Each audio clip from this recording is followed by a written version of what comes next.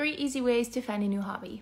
Number one, try a hobby of one of your friends or your partner. You can try it together, it's easily accessible, and you have somebody to go with.